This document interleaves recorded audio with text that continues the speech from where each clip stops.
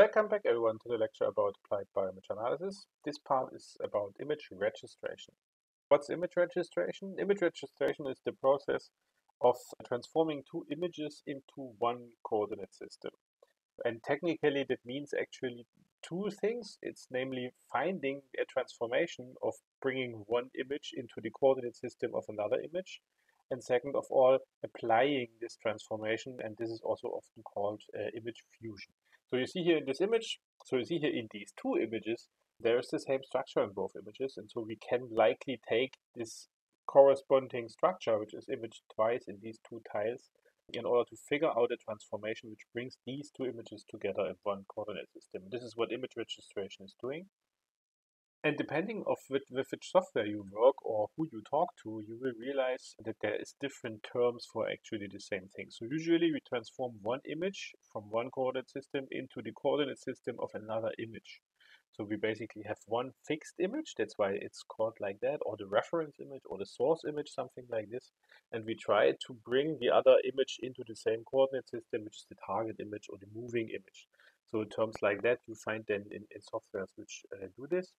And furthermore, there are different approaches of how to do this. So for example, one of the most, let's say, efficient ways of doing it is finding corresponding points structures, interest points in these different images, like you see here with the crosses, and then filling a system of linear equations with the coordinates and finding the perfect or the optimal solution for bringing these two images together in one coordinate system and there's a potential alternative. So algorithms also exist intensity based and they basically take the two images, overlap them as they are and compute kind of an, an error between them, for example, the mean squared error. And then they move this image a bit and they do this um, at, in, in, a, in the image pyramid I introduced to you last week. And then you, by, by doing this a couple of times and finding the, the, the best way towards a global optimum allows you at some point to reduce the mean square error between these two images, which allows you to find the right transformation to bring these images together. And there is different there's different ways of misaligning images. So let's assume we have a two-channel image. We have some nuclei over here, and uh, around the nuclei there's some uh, nuclear envelope, and we image these two with two different fluorescent markers. So we have in magenta and in green these two structures and two channels in an image, in a theoretical image. If these two channels are translated to each other, it may look like this. And you can then apply an algorithm which finds the perfect translation vector in order to correct for this. Furthermore, they can be rotated. Furthermore, they can be isometrically scaled. So that means in all directions there is a factor applied, making these things smaller or larger. So the images are scaled. But scaling can also mean that the that the factor is different in different directions, which makes it of course more complicated to figure out the right transformation for correcting this. Last but not least, shearing. So that basically means that you have kind of such a such a movement within your image, shearing the image apart or one of the images apart and correcting for this might be even more complicated. And when you bring these different ways of misaligning images together, you, you have another, some more terms describing the combinations of these misalignments. So let's assume the one image is just moved, is just translated to the other, then we are talking about a translation or translation registration, which has to be applied afterwards.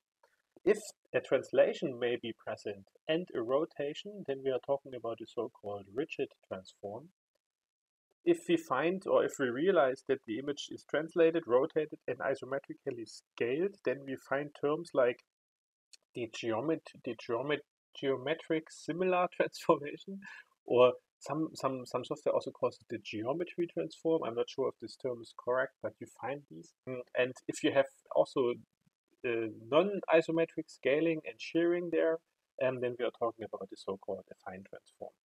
Why am I telling you this? Because depending on with which software you work, you find in these uh, different pull downs, for example, you find uh, the selection of the of the transformation you would like to correct. And um, a general hint is always if you have if you observe uh, an, an, a misalignment which is just a translation, then try to correct for that with just a translation. Don't use the affine transform, even though the affine transform also contains the translation. The idea is a bit give the software the minimum possibility to do something wrong to get the best result and also to get the result in the fastest way out. So that's basically a hint when using software like that. Furthermore, on top of this, so so far we were always talking about applying a transformation to the whole image. So basically all the pixels are transformed in the same way. And there is also a transformation which is then the so-called non-rigid transform or um, a deformable image transformation um, which can also be present, especially in microscopy. You really observe it sometimes, and maybe you see it here in the bottom image.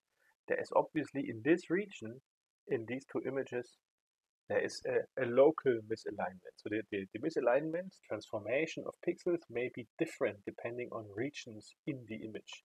And that's then we are talking about deformable image registration or sometimes also to refer to as particle image velocimetry or optical flow measurement. And these transformations are typically quantified or visualized with vector fields. So you see here in this image uh, colored lines and the color here in this case uh, represents the displacement in pixels. So here at the very center of this region, pixels are transformed to the left or to the right in this case in, this region by 25 pixels and the more you go away from that region this displacement goes down and becomes zero some somewhere outside and you may wonder, okay, what, what do we do with that? It allows us, for example, in video sequences, it allows us to measure the flow of objects or the, the motion of cells in a general image perspective point of view. So we are not tracking objects here, so we are not following individual nuclei, even though we could, right?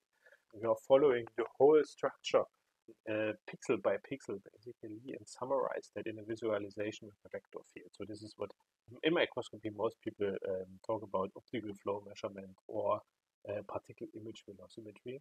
In medical imaging, usually people call it deformable image registration. And here you see an example from the from from a clinical perspective. So this is an MRI data set, and I outlined here a region um, that's the base of the tongue. So it's so it's not so the patient was actually a colleague of mine imaged in the MRI, and uh, we outlined the base of the tongue, and we asked uh, the the patient uh, the, the, the volunteer to open her mouth. Um, and then the tongue is basically falling to the back, so we wanted to, to measure the misalignment of these two ROIs, which is obviously a local thing, which is obviously not a global transformation of the whole image because only the tongue and the mouth are moving. Um, and this is quite relevant when you think about uh, radiotherapy and there's a, a, tumor, for example, in this region. Then if we want to hit this tumor precisely, then we have to we have to take these kind of transformations into account in order to make an ROI, an, an outline of an anatomical structure um, precise or to figure out how precise we can do these things. Water as a term you often find in microscopy more and more actually in recent years stitching. So when the structure we are looking at, so we're looking at here, we are looking at the mouse brain, when the structure we are, we are imaging is too big for our microscope, so the, the, the field of view of the microscope is not large enough to capture the whole scene, the whole sample, then we have to take several images, tiles, and then stitch these tiles together afterwards. Especially when this image data becomes very big becomes a problem. I was talking a bit about tiling and big data last week. So when you look here, for example, this is uh, again also a mouse brain, same image as before, and you see here that with, with typical ImageJ functionality, um, the developers were here showing some interest points. And the challenge is now to bring these interest points together so that this over so that these two sections taking from the mouse brain, image from the mouse brain, um, fit together in one data set. But technically, this is feasible today. I will show you a tool um, you, which you can use for that. Um, I'm just saying that for big data, it is a bit challenging if you work with terabytes of image data. So why is it challenging? Imagine you have a structure elongated a bit in this direction and you would like to image it. You realize it does not fit in the field of view. So you realize that you have to take eight field of views and have to image them. So this is how you basically set up your microscope and then you click on run. And when you are done with imaging you realize that the microscope was to some degree doing what it was supposed to do but um, not precisely. And there are, there are many reasons for that. So it's not just the microscope stage does not move as you would like to. It also has something to do that when light propagates through thick tissues it is sometimes not going straight um, because refractive index differences make the light a bit propagate in, in nonlinear ways.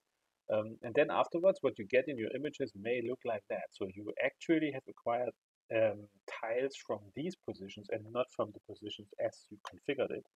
And each of these tiles is uh, half of your computer memory, or let's say a quarter of your computer memory. So you cannot put all eight tiles in the computer and um, register them and stitch them. Um, you have to do this basically starting from one tile of interest at the moment to the neighbor tiles, and maybe tile by tile. And from each tile to each neighboring tile, and all, always do this pairwise. And when you can do this pairwise, and you can do this from different tiles, um, you don't have to have the whole data set with all eight tiles or with all 1000 tiles um, in computer memory. You only have pairs or have to have pairs of them. Um, and this is actually the thing which makes the, the, the big image data um, stitching possible. Um, at the end, you take all these transformations which have been um, uh, determined between these different tiles and you still um, have to equalize a bit the error between them in order to figure out uh, how all these tiles fit together in the very best way. And then when you have aligned all your tiles, then you should still do some error quantification. So you see here, for example, how these overlapping tiles and the interest points in them are then taken to measure, for example, an average distance between the interest points of two different images in order to have some estimation of, of quality you, you, you gain through the uh, stitching. And depending on what kind of registration you were applying, um, if you were just doing a translation or if you just were or if you were applying a non-rigid transform, um, you will then see that the errors are different. First of all, the theoretical error, so the, the, the theoretical, the, the optimum of what you could achieve when applying a non-rigid transform is of course smaller and better than when just applying a translation because it is not just a translation. There is, as I said earlier, the light is propagating. Um, um, light is propagating through the tissue and it is not going the linear way. So that's why we have to actually um, theoretically apply a non-rigid transform.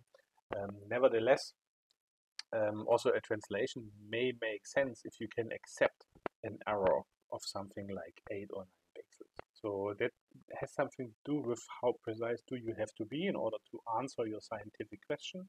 And it also something to do with how much computational resources are you willing to invest in order to find the best, the optimal transformation.